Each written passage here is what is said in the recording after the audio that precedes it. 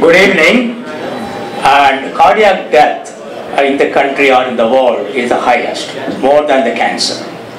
And uh, what we are going to do, what our invention is all about, it is a wireless, real-time, continuous monitoring of the heart conditions via cell phone to the hospital.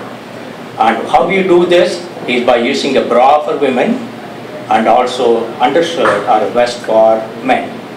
And the sensors are all nano sensors, but part of the textile-based sensors, there's nothing else, it's com- completely comfortable. And the data will be sent to the cell phone, from the cell phone to the hospital if needed, eh, with the GPS location at the same time where you are.